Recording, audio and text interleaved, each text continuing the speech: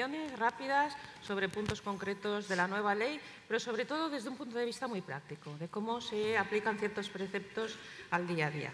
Vamos a empezar con la presentación de José Manuel Martínez Fernández. Él es vicesecretario general del Ayuntamiento de Valladolid, es doctor en Derecho, director del Observatorio de Contratación Pública del Colegio Oficial de Secretarios Interventores y Tesoreros de la Administración Local. Es autor de varios manuales y también de diversos artículos y mm, podemos destacar la coordinación de la revista recientemente aparecida eh, hacia una contratación socialmente eficiente eh, eh, sobre la nueva ley de contratos que él ha coordinado y que por lo que me han dicho pues es una revista que ha tenido un éxito absoluto. José Manuel nos va a hablar de los principios de, eh, de los mandatos sobre eficiencia, sobre la estrategia en la contratación pública y cómo eso se incorpora a las contrataciones. En concreto, lo han incorporado a la contratación de los, eh, a los contratos del Ayuntamiento de Valladolid Mm, desde que se elaboró una instrucción, como él nos va a contar, en el año 2015. Mm, cuando quieras, José Manuel. Buenos días, encantado de estar aquí con todos vosotros. a ver si en 15 minutos no me trabo, que tiendo a hablar muy deprisa y os puedo contar algo sobre, sobre la nueva ley. Eh, pasaré muy, muy rápido estas primeras presentaciones, si así consigo que se me mueva esto. Eh, bueno, todos eh, conocemos el origen y los objetivos de las directivas, el cambio que tenemos que hacer en este nuevo esquema mental que deberíamos meternos en la cabeza, es decir, interpretar la ley con estos objetivos, no pensar en a ver cómo puedo seguir haciendo lo mismo con una nueva ley, buscando trampas para, para no cambiar lo que tengo que hacer. Creo que el objetivo es hilvanar toda esa serie de cambios para conseguir que nuestros contratos alcancen una eficiencia social para conseguir un crecimiento inteligente, sostenible e integrador que dice la Estrategia 2020 implica, por un lado, eficacia al mínimo coste y, por otro lado, eh, rentabilización del gasto público en políticas públicas. Eh, la nueva ley de contratos es un, nuevo texto, no es como se decía del anterior, el mismo traje con otras rayas, sino que es, se busca, como dice la exposición de motivos, un sistema de contratación más eficiente, más transparente y más íntegro. Eh, el artesonado de la nueva ley descansa eh, sobre, sobre, estos pilares. ¿no? La integridad tendría que asentar todo nuestro trabajo, incorporar cláusulas sociales, cláusulas ambientales, innovación en todos los contratos, no solo en el modelo de compra pública de innovación o de compra pública precomercial, e incorporación de cláusulas ambientales, para conseguir eh, obras, bienes y servicios de gran calidad y con ello alcanzar esa eficiencia social. Veremos si conseguimos mantener íntegro ese edificio o se nos acaba arruinando como ha pasado con la ley anterior. Esto eh, en esta imagen gráfica no es una, opción. Ya no es como en, el artículo 22.2 eh, introducido por la Ley de Economía Sostenible del 2011, donde se nos indicaba que valoraríamos la incorporación de criterios sociales, de innovación. Ya no es una opción, es una obligación. El problema es que la ley no contempla sanciones específicas si un contrato no incorpora cláusulas sociales, si no incorpora criterios de ejecución de innovación, que por cierto el 202 no da ningún ejemplo. Eh, pero sí que entiendo que podría ser recurrible si un contrato, y lo están siendo, no se hacen lotes para fomentar la contratación con pymes, no hay reservas a centros especiales de empleo. El problema es que, como el plan anual del artículo 28.3 no es eh, causa de resolución de los contratos o causa de nulidad, veremos cómo se hace esa reserva. En todo caso, creo que queda claro que esto es una eh, obligación. Eso nos implica, para conseguir esa mejor relación calidad-precio, esa eficiencia social, nos implica trabajar en todas las fases de la contratación y no centrarnos... Ay, perdonadme. Estoy viendo yo aquí mi presentación y os cuento el rollo, pero nadie la, está, la estáis viendo. Con lo chula que me había quedado. Porque después ya de una mañana de escucharnos aquí hablar de lo mismo, pues unas imágenes lo que hacen es, eh, no sé, distraernos un poco y fijarnos y a lo mejor dejamos de ver los tweets que nos, eh, no, nos eh, tienen distraídos y o estamos al tweet o estamos a, las, a la ponencia. Entonces os voy a distraer hacia, hacia la pantalla, si lo conseguimos.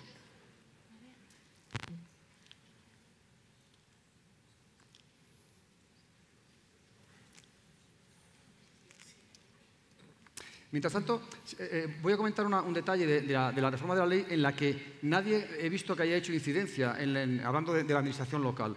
Eh, he visto varios artículos comentando las adicionales segunda y tercera, en la cuya redacción participé y la parte que a mí me parecía más interesante, por eso la metimos ahí, eh, no se ha comentado, que es la posibilidad de tramitar simultáneamente el expediente de la Ley de Bases para la gestión indirecta de servicios públicos, a la vez que el expediente de la Ley de Contratos para la preparación de los contratos concesionales.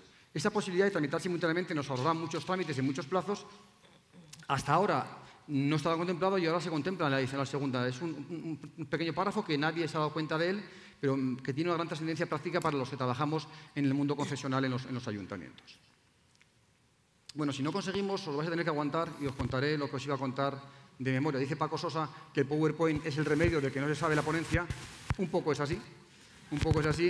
Y, también la, idea de que, la gente se, esté un poco eh, atenta a... No lo conseguimos, ¿no?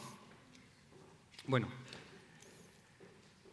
os estaba contando que eh, la contratación pública ha convertido la nueva ley de contratos en obligación el objetivo de alcanzar una contratación íntegra, estratégica y de calidad.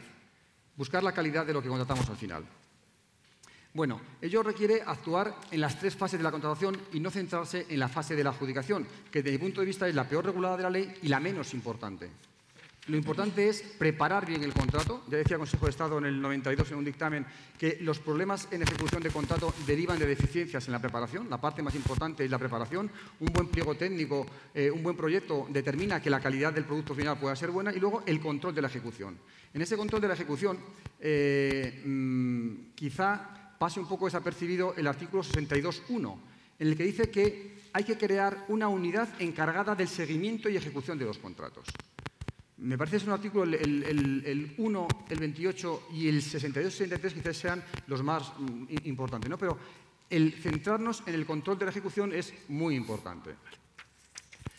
Pero todo esto de la, integridad, la estrategia y la eficiencia no es algo nuevo en la, legislación de contratos. Es cierto que la ley incide mucho en ello, que le dedica muchos preceptos, pero ya es algo obligatorio. La eficiencia es un principio general, eh, la no corrupción, la corrupción es un delito, lo sigue siendo, y la utilización de criterios sociales y ambientales y de innovación está en vigor desde, de, manera, de manera expresa desde la Ley 2-2011 de Economía Sostenible, introducido, como decía, en el artículo 20, 22.2, eh, ahora 28.2, precepto que no cambia. Siendo esto así, y sobre todo haciendo en ello un especial hincapié en las nuevas directivas, lo que hicimos en el ayuntamiento donde trabajo es eh, eh, hacer una instrucción para anticiparnos a la ley de contrato y aplicar directamente las directivas. Esa instrucción tiene seis capítulos, una instrucción muy larga, eh, comparada con cualquier otra que vea cualquier ayuntamiento que tiene regula las cláusulas sociales o ambientales de manera muy escueta. La nuestra regula cláusulas sociales, cláusulas ambientales, innovación, transparencia y sostenibilidad económica y calidad de los contratos. En esos cinco capítulos luego tiene su reflejo en pliegos tipo de contratos. Ha sido ya eh, eh, copiada o, como se dice ahora, implementada por otras administraciones. Eh, parcial totalmente, la, la, que más ha, tomado de ella es el acuerdo del Consejo de Gobierno de Extremadura del 23 de febrero del 2016, que cuatro de las seis partes de la instrucción la copia. Después de, aplicarnos, de, aplicar esta, instrucción, nosotros, lástima que no se vean los, gráficos, porque tenemos en, gráficos, hemos hecho un, un testeado de los efectos que tiene el utilizar la contratación con estos objetivos. Eh, vamos a utilizar la contratación de manera estratégica y qué conseguimos con ello. ¿Hasta dónde qué llegamos? ¿Sirve para algo o, voy a hacer un esfuerzo que no tiene ningún, ningún beneficio directo y tangible? Algo que podamos ver y que podamos vender, porque en este, en este momento es muy importante poder vender lo que hacemos. Especialmente para los políticos, porque si yo le dedico una serie de recursos en mi ayuntamiento a poder eh, eh, crear una instrucción, implementar, complicarme, como dice a mí, tú complicas mucho las cosas. Vale, si vamos a complicarnos un poco más la vida haciendo lotes, si vamos a complicarnos más la vida haciendo mesas eh, sin el modelo Juan Palomo, que por fin la ley de contratos quita, aunque una enmienda parece que intenta tapar ese, ese objetivo de la ley, ¿no? ¿Para qué sirve eso? Pues lo que hemos visto es que tiene una gran rentabilidad económica, social y política. En la contratación tenemos ya la estadística del 2016, estamos a punto de sacar la estadística de 2017. A ver si conseguimos llegar a tiempo, antes de que se me pase el tiempo, de, contar, de ver, de ver alguna...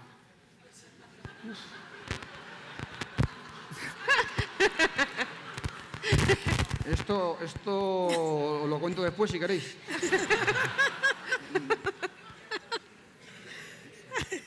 Bueno, bueno. Eh, por ejemplo, un ejemplo práctico, ahora veremos a ver si la estadística, ¿no? pero en, aplicando esta contratación estratégica, aplicando lotes de manera muy estricta en todos los contratos, solo se me están resistiendo los arquitectos. Arquitectos e ingenieros son muy reacios a los, a los lotes, porque dice que cómo vamos a coordinar a tanta gente, que la obra es única. Y digo, ¿y los subcontratos? ¿Os habéis dado cuenta que cuando subcontratamos pagamos el IVA dos veces? Porque hay un subcontratista que le factura a un contratista con IVA y el contratista le factura a mí con IVA, por ejemplo. Y si voy a subcontratar, ¿cómo es que no puedo hacer lotes en las obras? Bueno, pues eso todavía no lo he conseguido. Pero en el resto de contratos hacemos lotes. En el contrato de limpieza hemos hecho ya dos contratos con este sistema. En el primer contrato pasamos haciendo, hicimos 15 lotes, pasamos de un contrato de 8 millones de euros, ahorramos 1.300.000 euros adjudicando a lotes. Dejamos un lote eh, grande, de 4 millones de euros, para que llegasen grandes empresas y no recurriesen el contrato. Fue el único lote que fue ubicado a una gran empresa. Fue el único lote que nos dio problemas. Pelearnos con una gran, empresa, los consejos gestores, es la pelea de David contra Goliat. Si me peleo con mi pequeño empresario local, su abogado sabrá más o menos como yo. Si me peleo con una gran multinacional, tiene una estructura de abogados y economistas y una capacidad de presión política muy elevada. En el siguiente contrato, ese lote lo, dividimos en cinco más y, y hemos sacado 19 lotes. El ahorro ha sido de 900.000 euros con relación anterior. Es decir, en dos contratos hemos ahorrado en 8 millones y medio 2 millones y pico de euros. Hemos adjudicado a 19 empresas, la mayoría locales, y 15 centros especiales de empleo. No tenemos ningún problema en ejecución, ningún problema de resolución, no tenemos ninguna pelea que no podamos resolver con las pequeñas y medianas empresas. Eh, eh, extrapolando esto al resto de, de contratos, lo que hemos conseguido es que el 75% de todos los contratos en el Ayuntamiento de Valladolid en el 2016 se adjudicaran a pymes. De esas, el 56% son pymes locales, lo cual permite esa venta política. Decían, a mi alcalde, y por cierto, esta instrucción partió de una iniciativa de Izquierda Unida, la aprobó por unanimidad el Partido Popular y la aplica un gobierno tripartido de PSOE, Unidos Podemos e Izquierda Unida. Es decir, no tiene color político. Todos los grupos políticos han llegado y se han creído esto de la contratación estratégica y socialmente responsable.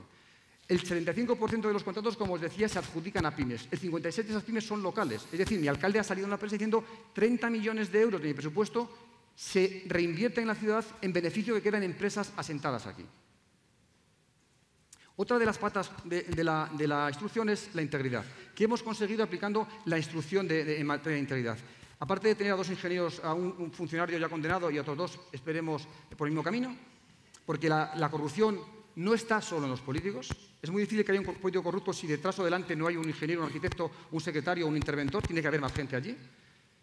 Aplicando medidas de integridad, aplicando eh, con rigor, por ejemplo, la eh, supervisión de los pliegos técnicos, donde están las principales trampas, la supervisión de los proyectos con independencia de su cuantía, eh, exigiendo informes específicos de aplicación de las reglas del artículo 117 a los pliegos técnicos. en el 2016 hemos tenido un 4,6% de litigiosidad, solo un 0,49% de litigiosidad contenciosa, es decir, un único pleito contencioso que el ayuntamiento ha ganado. Hemos tenido otros cuatro recursos eh, entre administrativos, reposición y eh, eh, recursos administrativos especiales, de los cuales uno de reposición hemos estimado nosotros directamente y otro ha, estimado el Tarcil y hemos, por supuesto, asumido. Una política de reducción de los contratos menores. Hemos reducido un punto porcentual y medio en el 2015-2016, política en la, en la que estamos, porque el tema de los menores no es una cuestión de qué dice la ley o cómo la interpreto. Es una cuestión de cuántos riesgos quiero creer. Mi interventor del ayuntamiento ha sido llamado al fiscal por el fiscal dos veces. Cuando el fiscal llama a tu puerta, estas cosas que ponemos en los, blogs y estos tweets de que, bueno, el objeto, por, el objeto, por no sé qué, si te llama el fiscal ya, a lo mejor tú lo ves de otra manera. Como nos han llamado dos veces el fiscal y tenemos a un funcionario procesado por adjudicar 13 millones de euros en contratos menores, 13 millones de euros, ¿vale? En contratos menores, hemos pensado que hay que tomarse en serio reducir contratos menores. Los contratos menores están en el ojo del huracán de los jueces penales. Entonces, depende de cuántos riesgos querramos correr con los jueces penales. La última sentencia famosa, la de los eh, eh, contratos eh, de, abogado en el Ayuntamiento de Melilla, o Ceuta, no recuerdo cuál es, Melilla creo que era, tiene 13 condenados. De ellos, 5 son abogados privados, inhabilitados para contar con la Administración, 8 funcionarios y un político.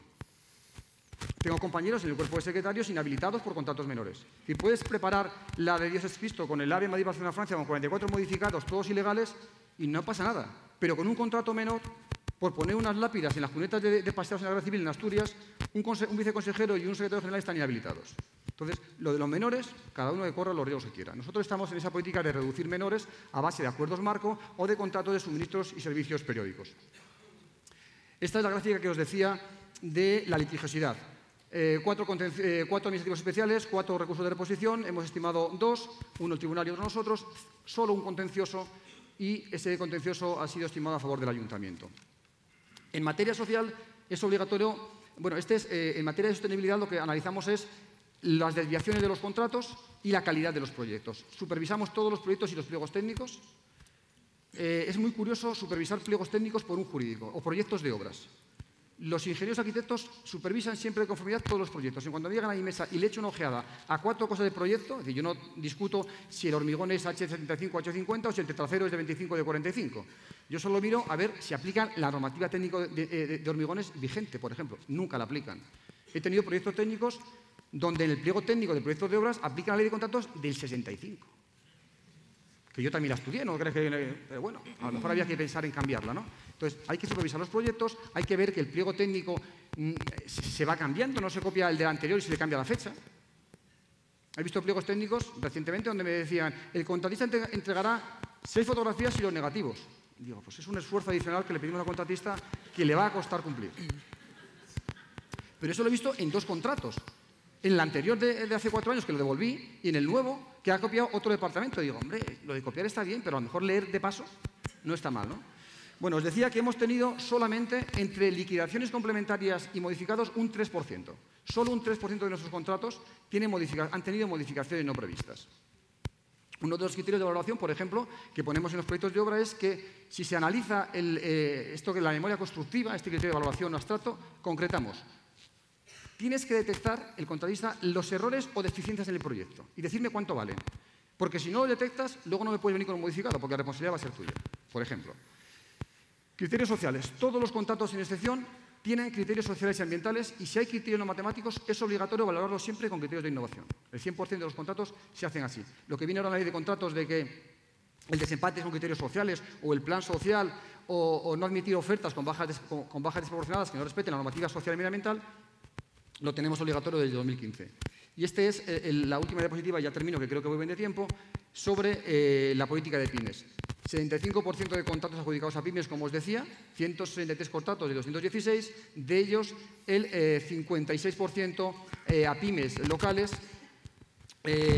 otro, otro 14% a, a, pymes de la provincia, otro porcentaje a pymes de la comunidad autónoma, etc. Es decir, hay una rentabilización directa en, nuestra ciudad. De hecho, tenemos ahora un problema, por ejemplo, con las personas con discapacidad. Ya no nos quedan personas con discapacidad para contratar porque como tenemos 15 centros especiales de empleo trabajando solo para nosotros más otros sitios, llega un momento en el que ya la población con discapacidad en condiciones de trabajar y con ganas de trabajar no es fácil ya encontrarla. Bueno, pues eh, aquí lo dejo y muchas gracias. Espero que este ejemplo práctico os sirva para, os aliente a, a ello. Pues muchas gracias, José Manuel. Eh, yo creo que la instrucción de Valladolid de 2015, que creo que la tenéis colgada en la web, ¿verdad? Eh, sí, sí, la, instrucción está colgada en, la web. Estamos ahora en un proceso de, revisión. A ver si conseguimos terminarla antes de que entre en vigor la ley. Y estamos intentando que esa, nueva instrucción sea eh, supervisada por más organismos independientes a nosotros para que pueda ser copiada con más ganas y la gente que diga, ¿cómo hago una instrucción y mi ayuntamiento no tengo medios? ¿cómo? Pues que nada más que copie, cambie el nombre y, lea y lo que no le sirva no lo ponga, pero que, mm. que no sea la excusa el no tener medios para hacer una instrucción. También intentaremos hacer pliegos tipo para que sean igualmente copiados por todo el que, el que le hagan falta. Pues eso, yo creo que esa instrucción la tenemos que bajar y nos va a servir, eh, va a ser una gran ayuda para eh, empezar a aplicar todos estos eh, mandatos de la ley en nuestras, en nuestras contrataciones. me quedo también con lo de la aplicación del contrato menor, que debe de ser excepcional, cualquier interpretación debe de ser restrictiva y el argumento este de que mm, conoces gente eh, muy allegada que, ha pasado por fiscalía o está imputada, yo creo que es, fundamental, es muy convincente ese argumento. Eh, vamos ahora con Hilario Hernández Jiménez, que es jefe del Servicio Jurídico de Urbanismo del Ayuntamiento de Alcalá de Guadaira, de Sevilla. Además, es profesor asociado del Departamento de Derecho Público de la Universidad Pablo de Olavide, Sevilla, y bueno, colabora muy activamente con en la revista de actividad administrativa de Walter Kluber. Él nos va a hablar de las relaciones del urbanismo con la legislación contractual. Muy bien. Buenos días a todos. Yo también tengo una presentación, a ver si ahora también solucionamos el problema para que la podáis ver todo, porque se está viendo en aquella pantalla, pero creo que no la tenéis de fácil acceso. Bien, yo en estos minutos únicamente querría trasladaros algunas ideas sobre las relaciones del urbanismo y la eh, contratación administrativa, la contratación del sector público, y a ver si somos capaces entre todos de que traigáis alguna idea clara, aunque mucho me temo que quizás la idea clara es que hay muchas cosas que no están claras, porque estamos en un entorno de inseguridad jurídica que yo creo que va a ser la conclusión con la que yo remataré esta intervención. Fijaros, por ejemplo, en materia de contratación, del sector público, que es de lo que estamos hablando hoy, la Ley 30-2007, que fue modificada, aparte de otras reformas, fundamentalmente eh, con, la, ley que estamos hoy tratando, tras el paso por el texto refundido del 2011, pero en materia urbanística, tras la sentencia famosa ya del 61-97 del Tribunal Constitucional, que anuló tres cuartas partes del texto refundido de la Ley del Suelo del 92, que al menos para los que sois de mi quinta, es la norma con la que nos hemos educado profesionalmente, se modificó por la, eh, se aprobó la ley 698, estatal, me estoy refiriendo, luego la ley 8-2007, el texto refundido del 2008, la ley 8-2013, tenemos el texto refundido del 2015. Si nos vamos al ámbito autonómico y que cada palo aguante su vela, en el mío se aprobó la ley del 2002, reforma sustancial en 2005, 2012, 2016, tenemos actualmente abierto un proceso de consulta pública de un nuevo anteproyecto de ley, un auténtico reino de taifa en lo que es la legislación urbanística comparada autonómica, que lo que provoca precisamente esa inseguridad jurídica. Bueno, pues esa inseguridad jurídica se traslada también a las actuaciones urbanísticas que tengan alguna relación con la materia de contratación, como ahora vamos a comprobar. Bien, en, primer lugar, en primer lugar lo que quería decir, ni en el texto refundido vigente ni en la nueva ley de contrato se incluye en el ámbito subjetivo a distintos operadores o agentes urbanísticos que se responsabilizan de la ejecución de actuaciones urbanísticas, como son el propietario único de un ámbito urbanístico, la totalidad de propietarios que de forma unánime y mediante convenio urbanístico, si la legislación autonómica así lo prevé, se responsabilicen de ejecutar las obras de urbanización, ni el agente urbanizador o la propia Junta de Compensación entidad de naturaleza muy confusa que nadie se atreve a definir si es de naturaleza pública, de naturaleza privada y por tanto la solución más fácil es definirla como una persona jurídica de naturaleza público-privada y así no nos equivocamos. Bien, sobre las juntas de compensación, una ya famosa, un informe famoso de la Junta Consultiva de Contratación Administrativa eh, del año 2009 establecía que no, eran, que no deberían considerarse como entidades incluidas en el ámbito subjetivo de la legislación de contrato. Y la misma opinión pues, se mantuvo en otro informe de la prolífica Junta Consultiva de Aragón, 21-2011, que mantenía exactamente igual, no se incluyen en el ámbito subjetivo a, la junta, las juntas de compensación. Eh, pero este informe de la Junta Consultiva de Aragón ya sí añadió que, bueno, la ejecución de la obra de urbanización debe exigir una atracción de la normativa reguladora de la contratación pública. ¿Por qué? Bueno, porque haga quien haga la obra de urbanización, se responsabilice quien se responsabilice de su ejecución, no podemos olvidar que estamos ejecutando una obra pública. Viario, acerado, suministro de canalización, abastecimiento, alumbrado eléctrico, zonas verdes, equipamientos infraestructurales. Por tanto, si estamos ejecutando una obra pública a, a recepcionar por la Administración para su puesta en servicio para el uso público, lo normal es que se aplique la normativa de contratación pública. Esta conclusión, esta idea, trae causa de una sentencia del Tribunal de Justicia de la Unión Europea, también famosa del año 2001, sobre unas obras de acondicionamiento exterior del Teatro Escala de Milán, aunque si bien es cierto, hay que puntualizar que el supuesto no es en absoluto análogo al del desarrollo de actuaciones urbanísticas, porque en aquel caso en Milán la ejecución de la obra pública por parte del responsable, y en este caso contratación con un tercero, era como sustitución a la contribución eh, urbanística que de forma económica debería realizar la entidad. En lugar de abonar un canon urbanístico, se responsabilizaba de ejecutar una obra pública que no tenía nada que ver con la actuación urbanística que este operador estaba desarrollando. En nuestro caso, en los casos de los agentes urbanizadores, del propietario único, de todos los propietarios mediante convenio o de la Junta de Compensación, se está ejecutando una obra, cierto, pública, pero por prescripción legal legalmente está obligado el operador privado a ejecutar esa obra pública y además la financia. Pues estas son las dos cuestiones que hacen que nos encontremos en esta dicotomía de si respecto de las obras de urbanización exigimos la ah, mm, aplicación de la normativa de contratación o no. Estas son las, las, dos variables. ¿Y qué está ocurriendo en la práctica? ¿Qué es lo que está, qué es lo que está pasando? Bueno, pues Mm, la experiencia nos está demostrando que cuando las obras de urbanización, la responsabilidad de su ejecución la ha asumido una junta de compensación, un propietario único, la totalidad de los propietarios, en general no se está exigiendo la aplicación rigurosa de la normativa de contratación pública, de contratación del sector público. Y, si se está y, y cuando la obra de urbanización la ejecuta un agente urbanizador, pues nos remitimos a lo que disponga su normativa reguladora. Y esto es porque lo que parece que sí hay eh, como un asentimiento es que no hay una relación contractual entre el propietario único o la Junta de Compensación con la Administración actuante, y sí parece que hay una relación contractual, habrá que ver qué naturaleza, pero hay relación contractual entre el agente urbanizador y la Administración actuante. Yo me he preocupado de hacer un pequeño estudio, fijaros, de estatutos y bases de juntas de compensación recientes para ver cómo han regulado cómo se ejecutan las obras de urbanización. Por ejemplo, del año 2013 unas bases de actuación de San José de, de Satalaya en Baleares, en Ibiza. La ejecución de las obras de urbanización se llevará a cabo por una empresa urbanizadora, por un contratista idóneo, elegido por la Asamblea General, mediante el proceso de selección que éste considere más adecuado. Aquí no hay ley de contrato. Una fase de actuación, año 2016, Ayuntamiento de Lora del Río, en Sevilla. La contratación de las obras de urbanización será por adjudicación directa, seleccionando la oferta que se estime más favorable, previa solicitud y evaluación de un mínimo de tres ofertas a empresas constructoras de reconocida capacidad y solvencia. Hay unos requisitos, pero aquí no hay rigurosa aplicación de la ley de contrato. Mm, estatutos y bases de una Junta de Compensación de unas normas subsidiarias del Ayuntamiento de Hoyo de Manzanares en Madrid, año 2016. No me estoy remontando a muchos años atrás, como veis. Para la contratación de las obras de urbanización se solicitarán ofertas cuatro empresas constructoras y para concurrir a la licitación de las obras será requisito imprescindible ostentar clasificación exigible conforme a la normativa de contratación de las administraciones públicas.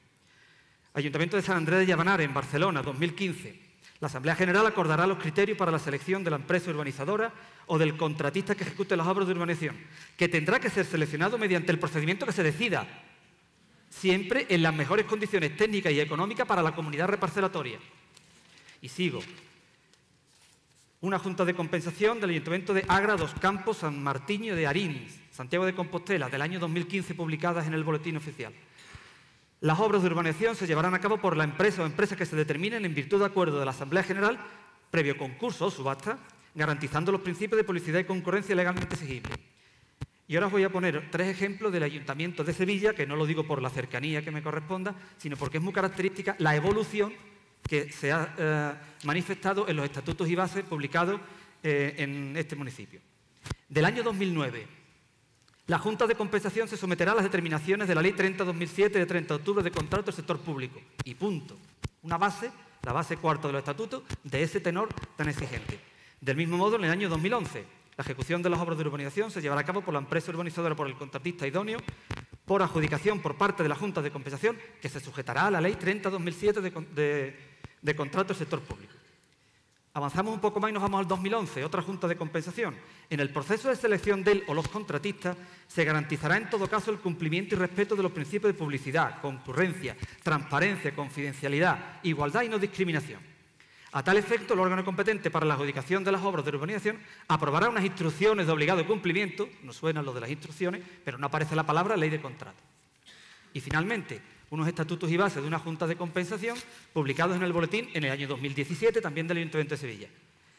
La ejecución será por empresa o empresas que se determine en virtud de acuerdo de la Asamblea General, adoptado por dos terceras partes de las cuotas presentes o representadas, con la que se estime más solvente técnica y económicamente por el procedimiento que se considere más adecuado. Vemos, por tanto, que la regla general a fecha de hoy es que no hay una remisión por parte de las juntas de compensación que respecto a los operadores urbanísticos privados es el que tiene una naturaleza más jurídica, jurídico-pública, pues no hay una remisión a la legislación de contrato. Por tanto, parece que podríamos concluir que las juntas de compensación, los propietarios únicos, todos los propietarios que mediante convenio asumen de forma unánime la ejecución de las obras de urbanizadoras, no se tienen que someter a la legislación de contrato del, sector público. Y por tanto habrá que estar a lo que dispongan sus normas reguladoras, estatutos y bases, sobre la aplicación y observancia de criterios de solvencia, de criterios de transparencia, de criterios de concurrencia, etc. Bien, un segundo aspecto que quería comentar, por no extenderme mucho, es ah, el procedimiento de selección del agente urbanizador. También me he preocupado en este caso de hacer un análisis de la distinta legislación autonómica comparada sobre los procedimientos de selección. No lo voy a mencionar, ya de esto se escribirá algún artículo y lo podréis ver. Pero he analizado las legislaciones autonómicas andaluza, extremeña, castellano-manchega, riojana, murciana, del País Vasco y valenciana. Y como resumen de lo que... y la gallega.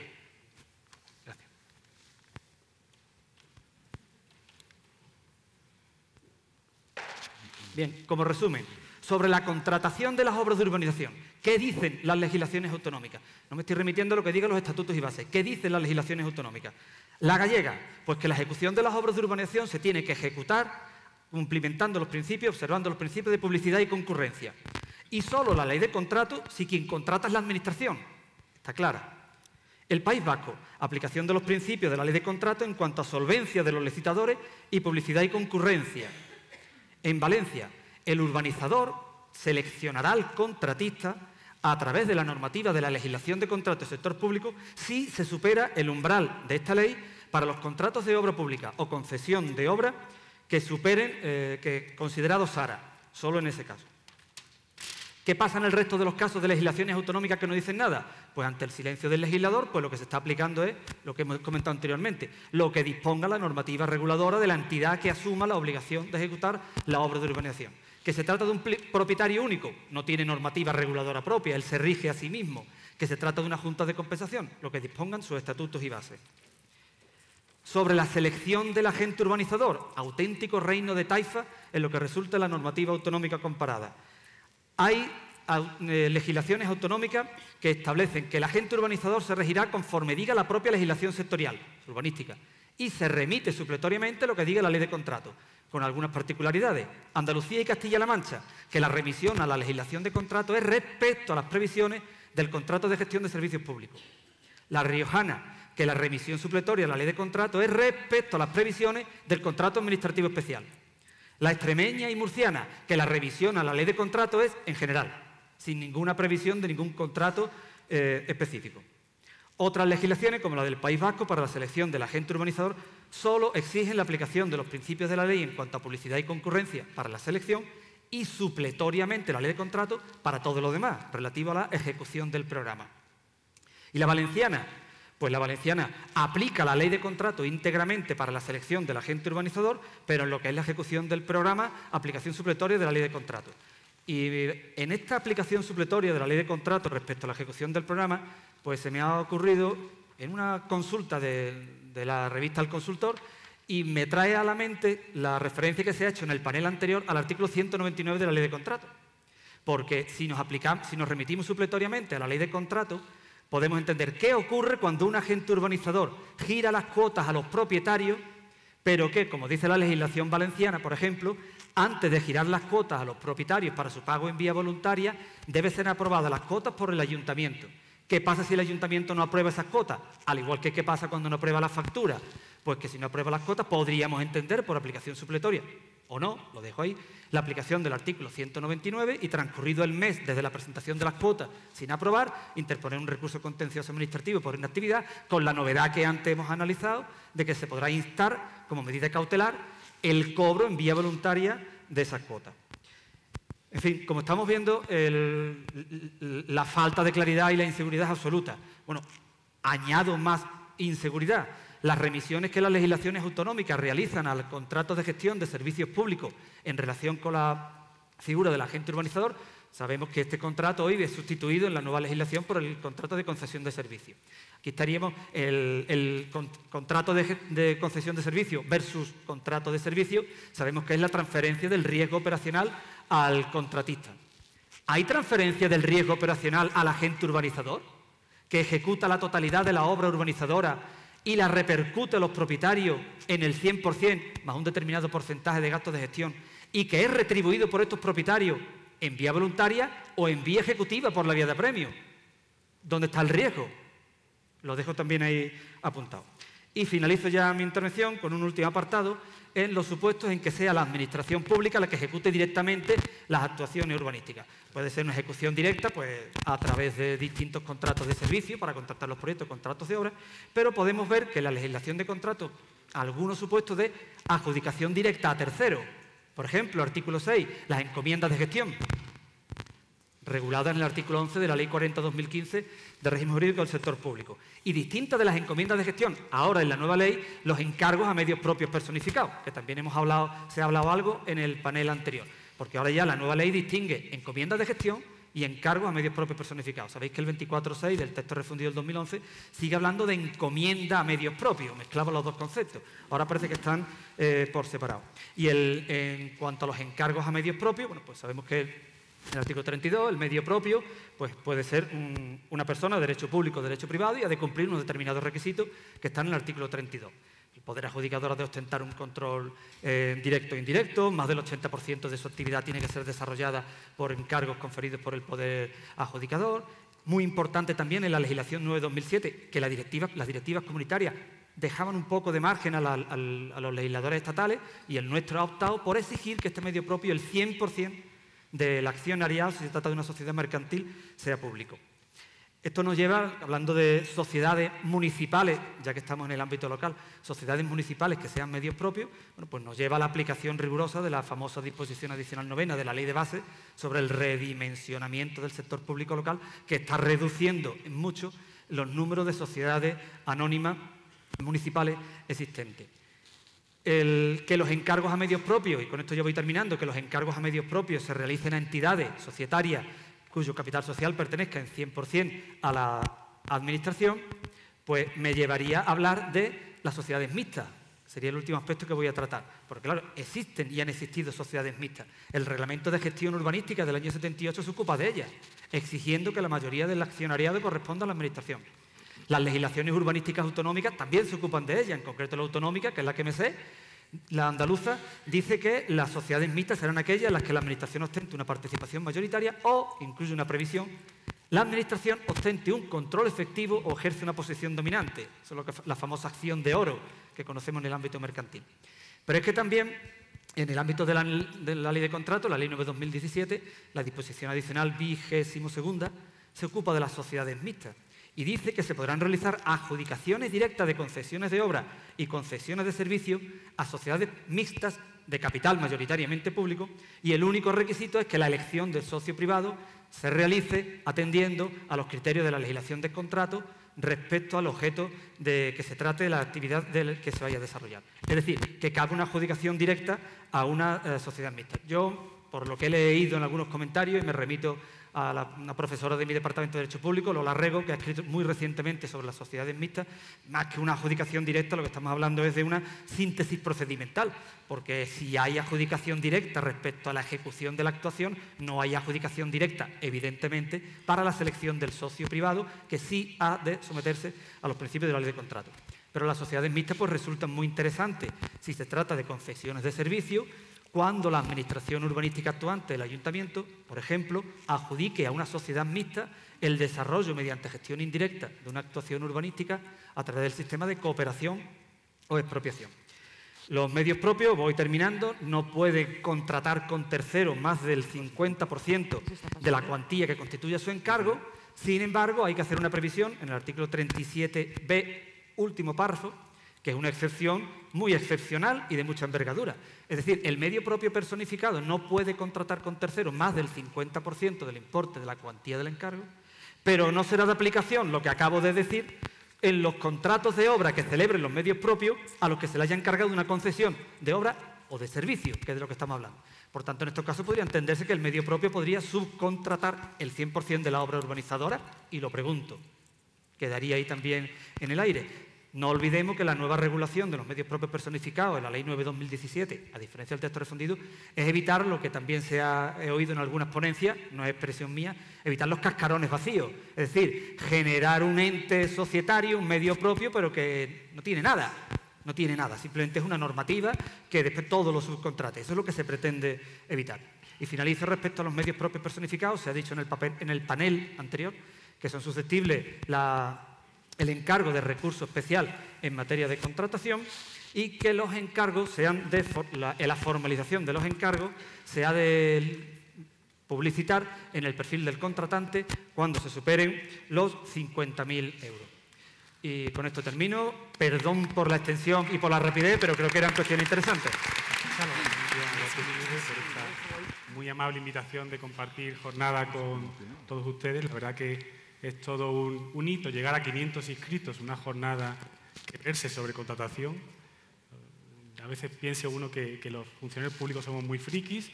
Bueno, no, esto es lo que reafirma para mí que hay grandes servidores públicos que se preocupan porque las cosas mejoren y adaptarnos a la normativa que, que de aplicación.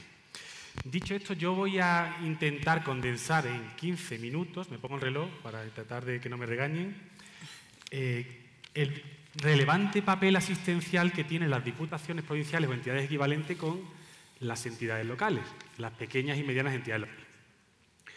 Aquí suscribo las palabras de esta mañana de uno de los ponentes que me ha parecido formidable y es que la nueva ley es una ventana para tener la oportunidad de cambiar las cosas, cambiar las cosas a mejor, entendemos, evidentemente.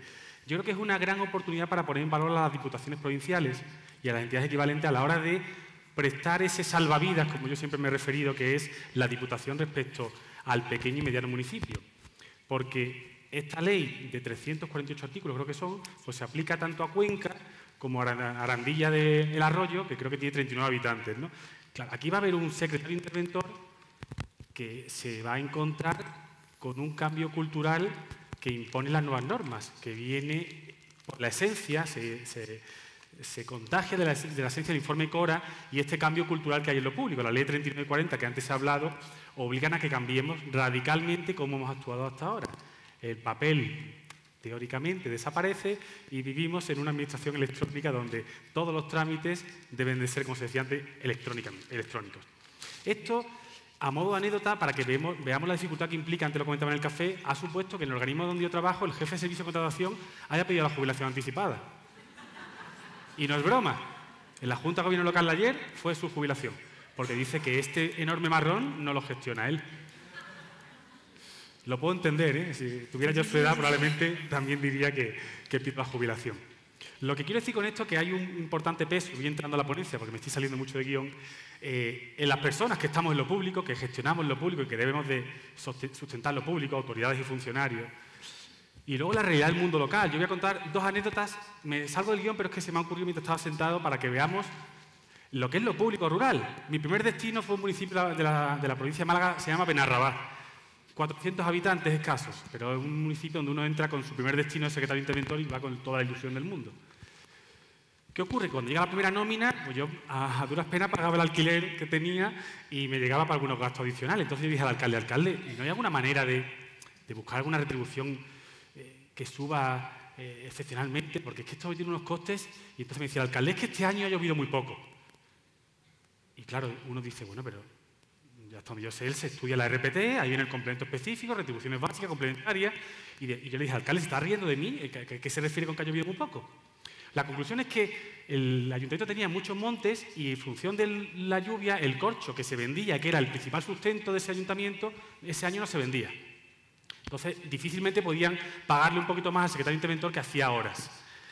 Ese, es un ejemplo. El segundo quizá no sea tan, gracioso y fue cuando a uno le toca obligar a que se apliquen eh, las disposiciones en materia sancionadora urbanística, los procedimientos sancionados y disciplina. Entonces uno llega al alcalde, alcalde, este procedimiento sancionado hay que tramitarlo y hay que abrir un procedimiento de PLU, de protección de legalidad, y suspender la obra inmediatamente. Y me dice el alcalde, no, no, no, que yo entonces duermo en el sofá. ¿Cómo? Bueno, que tú no conoces a mi mujer. No, no tengo el placer. Es que esa señora es la, es la prima de mi mujer.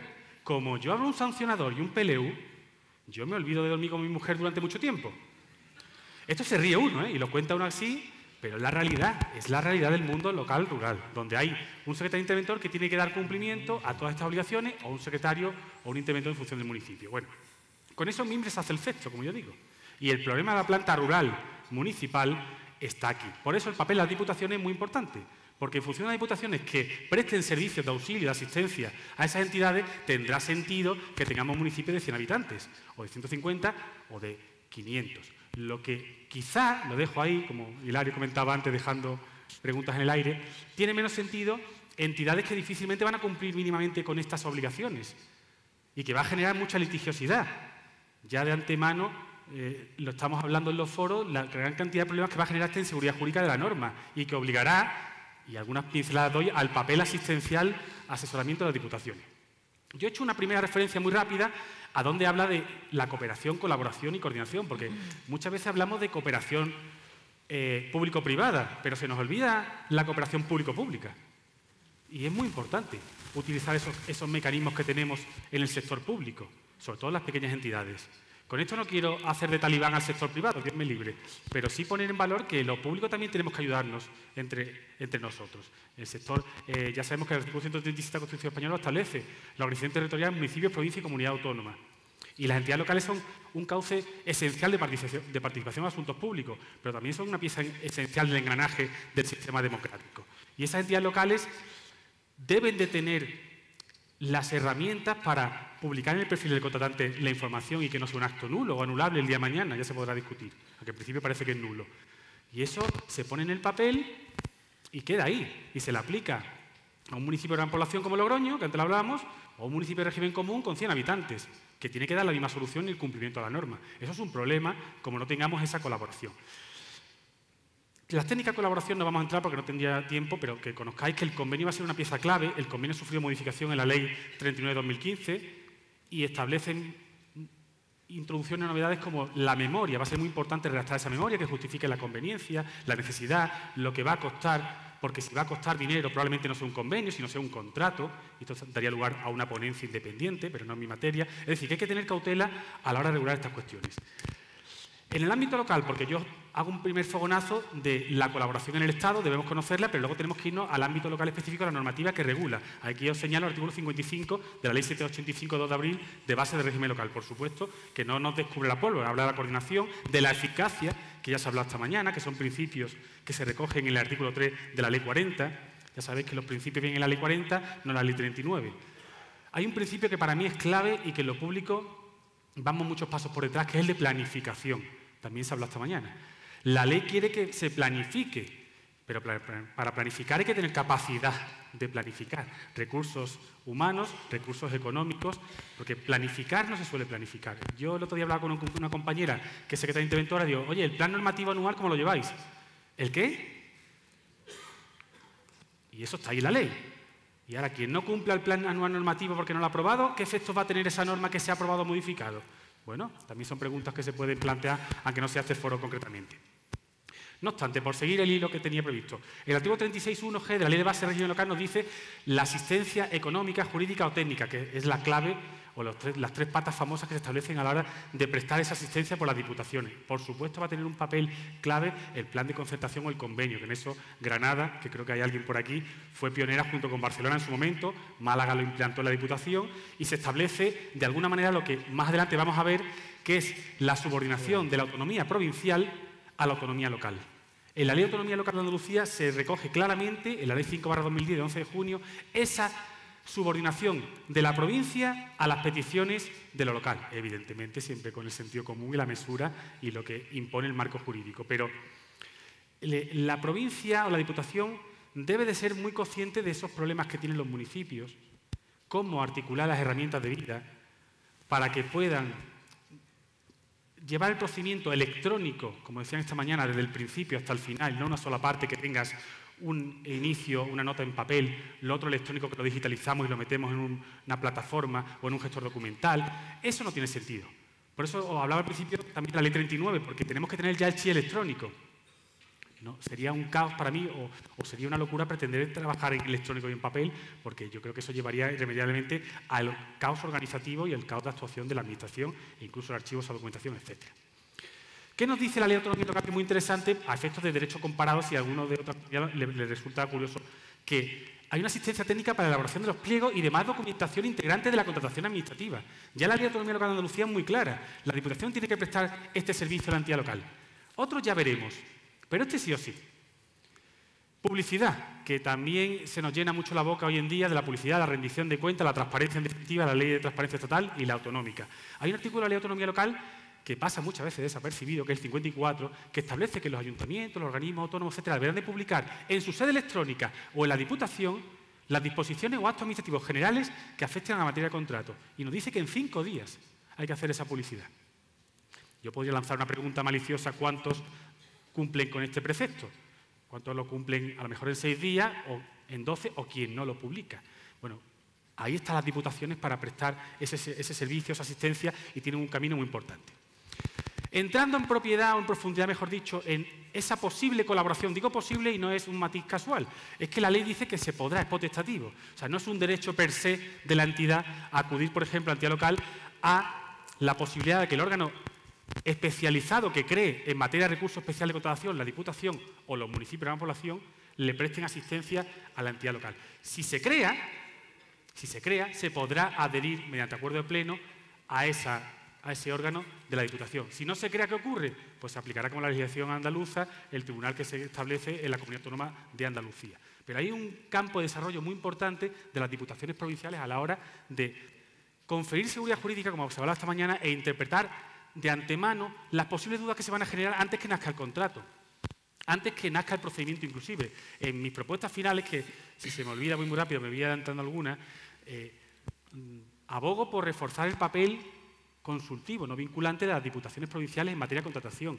para que de antemano podamos o puedan esos pequeños municipios conocer las dudas que se le van a plantear y las posibles soluciones a la hora de los recursos que se plantean o se suscitan por esas empresas, esas grandes licitadoras eh, que a veces copan el mercado en materia de limpieza, de, determinados suministros, donde sus cuerpos jurídicos son tan amplios que comparados con los del ayuntamiento, en el que se está muy solo, porque esa es una realidad que a veces se nos olvida. Y cuando uno está en Málaga y habla de los municipios de la población, habla de Marbella, habla de Mijas, habla de eh, Málaga, pero esos son cuatro.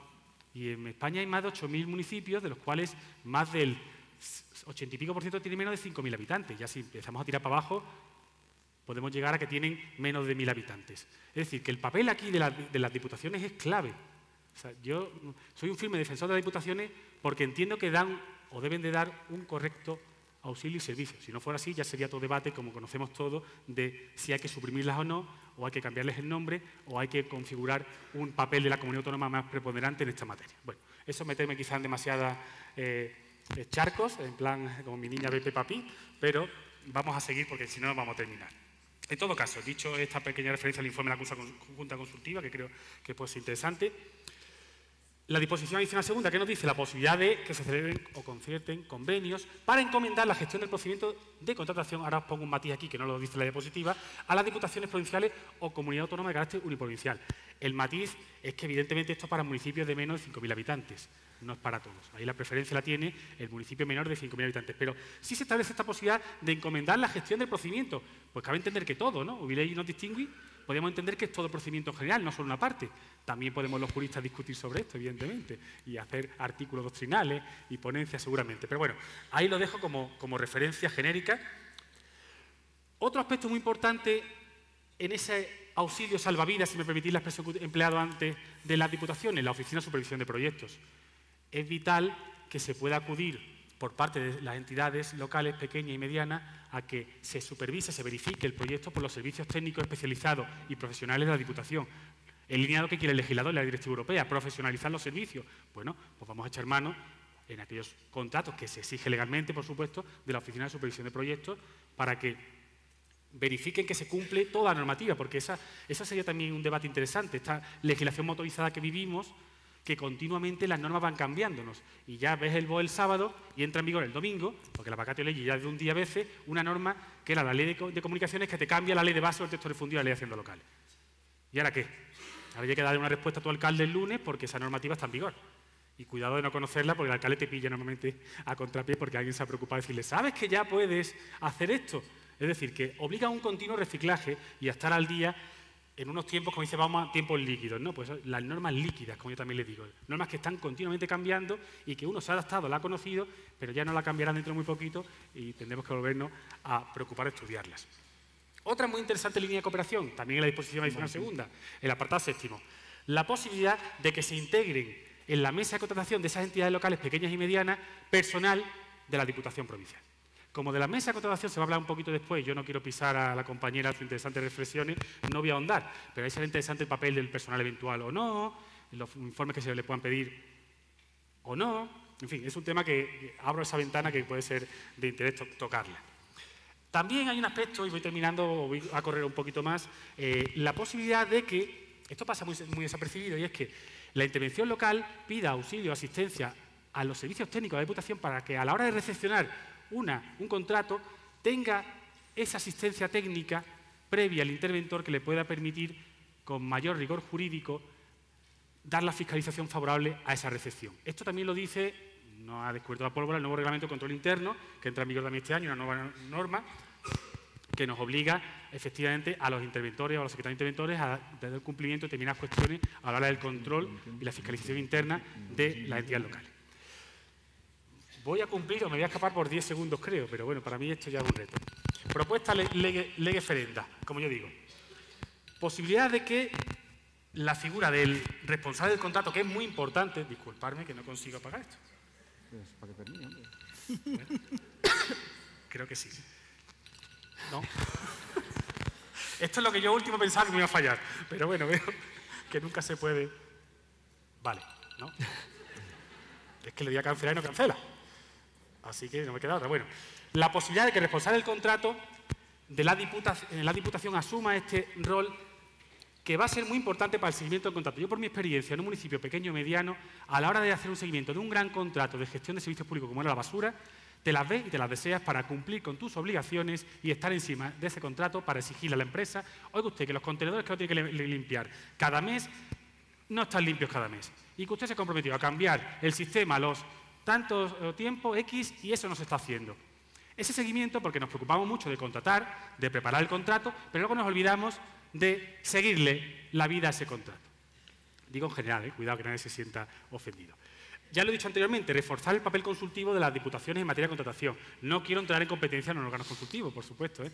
pero puede ser muy importante, dado que en muchas ocasiones la defensa jurídica de esas pequeñas entidades la lleva a las diputaciones. Se puede unificar criterio, doctrina, a la hora de esta materia, cuando vaya al contencioso, es muy probable que se gane o es muy probable que se pierda porque esta línea de interpretativa no la seguimos y probablemente en los juzgados y los tribunales tampoco. Hay un papel a desarrollar. Y luego, y como último, la relevante función que tiene la Diputación a la hora de la publicidad y de actualizar el perfil de contratante. Si el perfil de contratante va a ser una herramienta esencial que va a implicar la posibilidad de que los actos sean nulos, tenemos que tener muy mucho cuidado de dar estricto cumplimiento a que la publicidad se respeta escrupulosamente, porque es cierto que antes, cuando se podía, a veces por la tarde en tu casa te metías en la plataforma y la actualizabas, pero yo creo que esos tiempos han pasado y ya no te puede permitir la licencia de ya la actualizaremos mañana o pasado porque puede implicar un recurso, una alegación y que el procedimiento, después de mucho tiempo, mucho trabajo, muchas horas de esfuerzo y dedicación, se vaya al traste. Bueno, disculparme por la velocidad imprimida en algún caso, pero quería condensar en 15 minutos muchas ideas. Algunas se me han quedado el camino, otras han entrado a última hora fruto de las reflexiones con los compañeros, pero agradeceros mucho la atención y, como digo, me someto luego a vuestras críticas, sugerencias y reclamaciones. Muchas gracias.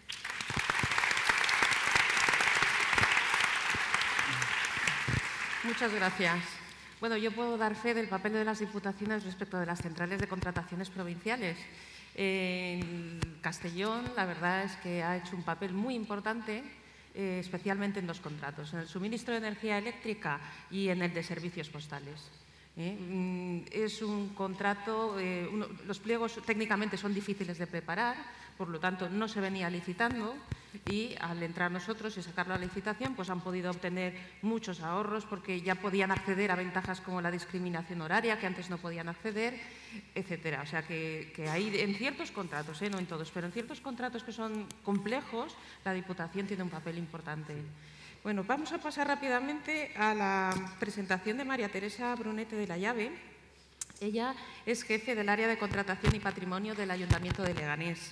Es doctora en Derecho, ha participado en distintas publicaciones y cursos, tiene el máster en contratación pública y en gestión pública local y nos va a hablar de las mesas de contratación, cuándo va a ser necesario constituirlas y de qué forma. Muchas gracias, Pilar. Lo primero, agradecer a la organización la invitación a este congreso. Es verdaderamente un placer compartir esta experiencia con y en especial con mis compañeros, con mis compañeros de administración local. Eh, felicitar también a la organización por incluir el ámbito de las administraciones locales en el Congreso, porque abundando un poco más en lo que ha comentado el compañero, somos el patito feo de las administraciones Hubiéramos querido que en esta ocasión la ley hubiera dedicado al menos un título a la Administración local y un título bien, bien formado con las competencias de diputaciones, la asistencia y demás, pero seguimos relegados a las disposiciones adicionales segundas, ahora dos. Bueno, ya ha comentado el compañero la falta de medios de las administraciones locales. Somos, nos distinguimos por la heterogeneidad. Somos 52 diputaciones provinciales, 8.125 municipios, grandes, pequeños, medianos, y a todos nos es de aplicación la misma ley. Una ley, como sabemos, hecha y pensada para grandes administraciones, para el Estado. Eh, esta falta de medios es sobre todo de medios materiales y de menos de personal especialista. Ya se ha comentado aquí el grado de profesionalización y de complejidad que ha adquirido la contratación pública. Eh, evidentemente, como hemos comentado, la mayoría de los municipios no nos podemos enfrentar a todo esto. Y yo tengo el privilegio de estar en un municipio que es una gran ciudad, 200.000 habitantes, el Ayuntamiento de Leganés, pero aún así tenemos graves carencias. He trabajado también durante 25 años en pequeños y medianos municipios y les puedo asegurar que esto es muy complicado. Seguramente muchos de ustedes son de administración local y saben por lo que hemos pasado y por lo que, lo que tenemos, el tsunami que tenemos encima ahora mismo. Y es que ahora más que nunca requerimos de equipos multidisciplinares, eh, jurídicos, especialistas, por supuesto, técnicos, evidentemente, pliegos técnicos y demás, y también economistas. Como ha quedado plasmado antes, ahora ya para los precios de los contratos tenemos que hacer más cosas que las que se venían haciendo hasta ahora de lo he sacado por tal cantidad, vuelvo a sacarlo por la misma. No, ya lo ha comentado la compañera con anterioridad. En buena parte de los municipios, pues los pequeños, hay una persona que hace todas estas cosas y muchas más, que es el secretario o secretaria de ayuntamientos el papel de, las diputaciones provinciales evidentemente es crucial. Y en las, comunidades en las que no tenemos diputación, como en la Comunidad de Madrid, esperemos que también la comunidad. Antes de pasar a las mesas, otro problema que quería resaltar es el problema de gobernabilidad, que incide en toda su intensidad en la contratación pública. Porque ahora mismo el escenario político es de minorías y esto afecta algo tan importante como la aprobación de los presupuestos, que son los que financian los contratos, evidentemente. Bueno, pues eh, la mayoría de los municipios se gobierna en minoría. Les puedo contar el caso, por ejemplo, de mi ayuntamiento. Gobiernan siete concejales sobre 27 que componen el Pleno, por obra y gracia de la ley electoral que permite que en municipios en segunda votación salga elegido el alcalde que más votos tenga sin pensar en la representatividad que esto tiene, pues eso nos ha llevado como consecuencia a que ahora mismo estamos trabajando con presupuesto prorrogado desde el año 2011 y no tiene visos de solucionarse y, por, en la siguiente legislatura no sabemos qué pasará. Bueno, gracias a Dios, en las grandes ciudades eh, podemos contratar porque todas las competencias en materia de contratación las tiene la Junta de Gobierno. Pero esto no es así en pequeños municipios. Entonces, en pequeños municipios en los que ahora, o pequeños y medianos, todos los que no son gran población, en los que ahora se gobierna en minoría, pues todos aquellos contratos que exceden del 10% de los recursos ordinarios son competencia de pleno. Con lo cual, si no se aprueban presupuestos, si la oposición no quiere sacar adelante estos contratos, pues ustedes me dirán. A todo este panorama hay que añadir la puesta en marcha de la contratación electrónica si para sitios como el, mío, grandes ciudades, nos está resultando muy complejo, porque hay que tener infraestructura, hay que tener medios materiales, hay que tener medios personales y un fuerte departamento de informática. Bueno, pues en pequeños y medianos estos son dibujos animados. Ciencia ficción. Eh, las diputaciones provinciales, por favor. Evidentemente se extrapolan a las mesas de contratación. El papel de las mesas de contratación es trascendental dentro del procedimiento de contratación, porque somos los que valoramos las ofertas. Digo somos porque soy jefe de contratación y secretaria de la mesa de contratación. Eh, desde mi punto de vista, eh, la correcta valoración de las ofertas se podrá dar si se dan básicamente dos circunstancias. La primera de ellas, que se hayan confeccionado buenos pliegos de condiciones, con especial atención a los criterios de valoración y a su ponderación. Esto pues no puede hacerse si no tenemos especial, si no tenemos personal especialista. Y la segunda parte, que las mesas de, contratación estén compuestas por personal especializado. Y este es un muy grave problema en las entidades locales que la nueva ley, en mi opinión, no ha atajado, sino que en casos como en el del municipio en el que yo estoy, lo ha venido a complicar mucho más. Me explico. El artículo 326 ahora regula tanto la composición como las funciones de la mesa. Recordemos que el texto refundido regulaba la composición y el reglamento, las funciones, veremos cómo ahora complementamos una y otra. Bueno, pues ahora regula composición y funciones. Y una de las novedades que establece el 326 es la prohibición de que los órganos representativos formen parte de las mesas de contratación. Dice textualmente, en ningún caso. Veda que luego se levanta llegamos a la disposición adicional segunda y los cargos electos pueden seguir formando parte de las mesas. No se entiende, bueno, evidentemente tendrá su... Pero que para el Estado, comunidades autónomas, esto sea una prohibición en ningún caso y se siga permitiendo en las entidades locales. Eso sí se ha limitado y esto al tercio del, número total de su composición y esto en, en mi ayuntamiento lo que ha tenido es una consecuencia más perniciosa que otra cosa. ¿Por qué? Como en muchos municipios, tenemos aprobado un reglamento de organización. En este reglamento se establece que la composición de las mesas será por los mínimos que establezca la ley y un concejal de cada grupo político municipal. Con lo cual, aplicando el tercio, nos salen 18 componentes en la mesa de contratación. Esta es la consecuencia. No sé si es lo que se quería evitar se ha conseguido, pero esta es la consecuencia en municipios como el mío. Y ustedes me dirán, ustedes me dirán cómo se me ha ido. ya, ya, ahora, ahora. Bueno, ustedes me dirán, cómo, yo como secretaria de la mesa, cómo vivimos una mesa de contratación, qué operatividad tiene una mesa de contratación con 18 personas. No solamente de operatividad, sino que los señores concejales que asisten a la mesa pues no vienen con el traje de me remango y soy técnico de la mesa y valoro objetivamente, sino con el traje de lo que son, de concejales y concejales de la oposición.